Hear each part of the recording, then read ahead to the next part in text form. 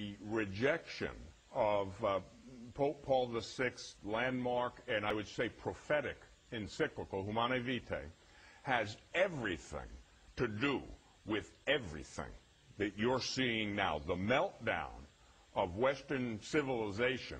Uh, abortion uh, has become a, a, form of contraception. And Paul VI, Pope Paul VI warned about that. Um, and so at the root of much of this is, uh, is that rejection. That was a, a magnificent uh, encyclical. And uh, it was rejected in many quarters, even inside the Catholic Church. I'll never forget one time when I preached um, at a conference in Winnipeg. And uh, there was a bishop there. I, I went through um, unbelievable things just getting to the conference. And I arrived, I was in the conference room with the bishop. And I said, I can't believe what I went through to get here. Well, he said, You know where you are, don't you? I said, Yeah, Winnipeg. And he said, Yeah, well, do you understand the significance of that? And I said, No, I must have missed that. He said, The Winnipeg statement. And it, he reminded me, he was one of the bishops in the Canadian Episcopal Conference. About 98% of them wrote, they put it in writing, they rejected Pope Paul VI's teaching on Humanae Vitae. Uh, that brings down such darkness and hell on humanity that it's hard to believe. The politicians will never get that. Many people in the church don't even get that. But I personally believe that the rejection of Humanae Vitae was, a, was pivotal, and it has a great deal to do with the rise of, of, abortion and all the evils uh, that flow from that evil. Uh, the, the, uh, the, the basic decomposition of my beloved country and yours and the whole Western world is tied into this. So that's a, that question is more astute than, than the lady might even know.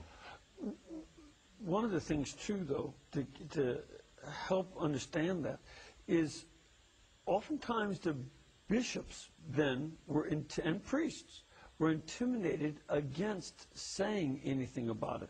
Do you remember the shibboleth? The, the battle cry was, "Keep the Pope out of my bedroom." Oh, he has. Oh, yeah. Remember that? Yeah. Oh, absolutely. To which my response is, he has, you flatter yourself, he has no interest in being there. What he wants is God to be there. And this is something that's very important to keep in mind, but people were afraid to speak up about that. They were. And you know, I sympathize with anybody's dilemma who's in authority, whether the authority is ecclesiastical, church authority, or civil authority. But I only sympathize with it to a point. To a point. Uh, you know, my friends in the military have a saying that certain people who aren't performing the mission and, and doing a very good job, they're oxygen thieves. oxygen thieves. They're breathing perfectly good air that someone who's performing the mission could be breathing. I'm sympathetic to the difficulties of leadership, but only to a point.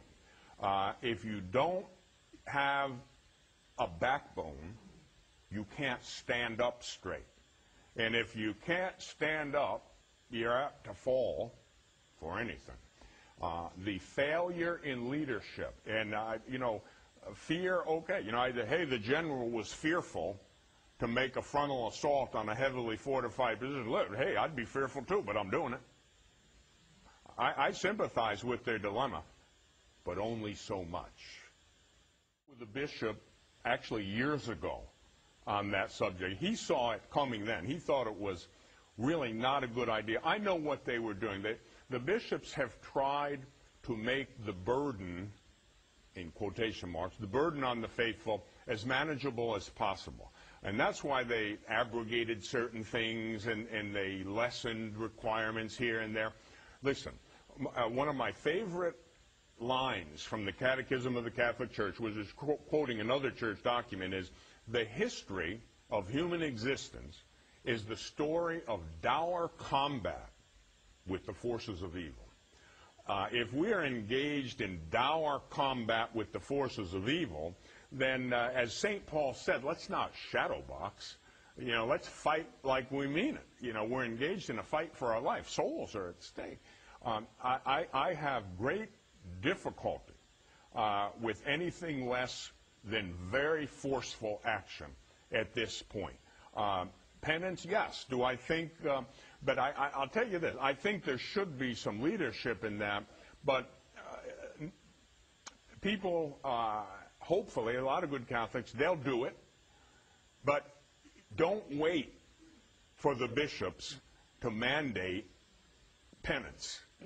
Uh, there is nothing stopping you. And I'll tell you this every single one of us has a unique, precious, unrepeatable place on the battle line. Uh, don't fail in the mission at this point. You better pray like your children's lives depend on. You better do penance. You know, penance and sacrifice have been relegated to the realm of the almost non-existent today. We have very little preaching on the cross today.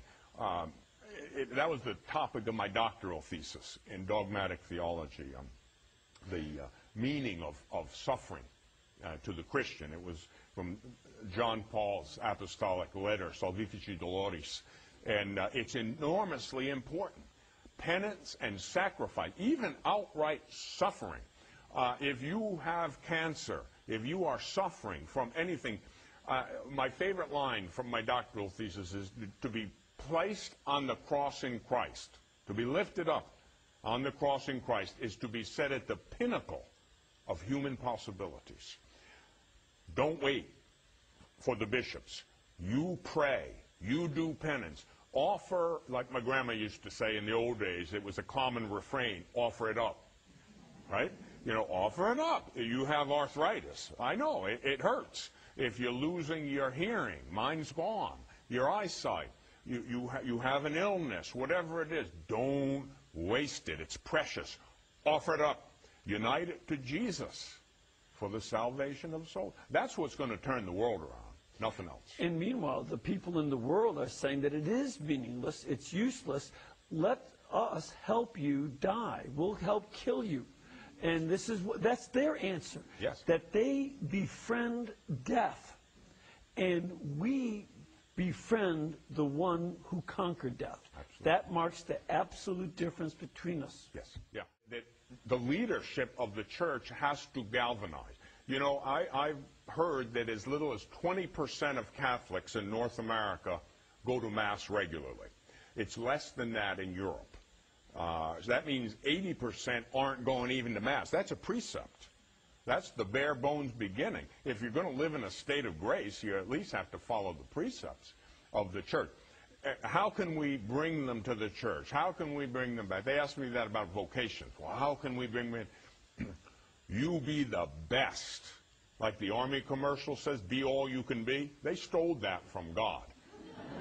Jesus said, you must be perfect as your heavenly Father is perfect. One person at a time.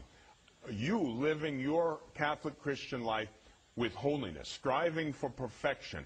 You will be amazed the people you will attract and the strength of those people, the, the vibrancy of their faith. Uh, they, and then don't sit on your backside.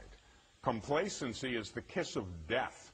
Uh, when, when we've got enough strong Catholics uh, standing up, and you better believe your, your life depends on it, because you're going to blink your eye and wake up a slave soon. If enough of us don't get galvanized into action, it's a function of leadership. It's like in a war, a battle. You know, if the, if the general has the idea that it's not important to train or it's not important to educate and inspire his men, he's going to lose. Exactly. Same with us. One, one element of that, that you, goes back to what you had said earlier, that uh, we don't preach the cross enough. In fact, one part of the, I, I just noticed this, uh, or put these things together uh, a few months ago. Back in the 70s and even in the 60s, they took out the crucifixes from so many of our churches. And it wasn't long before the tabernacle followed. You, you remove Christ crucified, you remove Christ present in the sacrament, and then what you have left is us. Yeah. And that's not good enough. No, no, and, and, and many of you may remember Archbishop Fulton Sheen's comment on that. It was toward the end of his life, and it said when, when, when we, when we remove Christ from the cross, uh, a, a cross without Christ, that's little more than they have in the oppressed communist countries. Right. They have plenty of suffering and plenty of misery. But when you put Christ on the cross, you, en- you endow it with the power of redemptive love. Uh, as we've expunged the sacrifice from the daily life of, of Catholics and Christians, we've expunged power.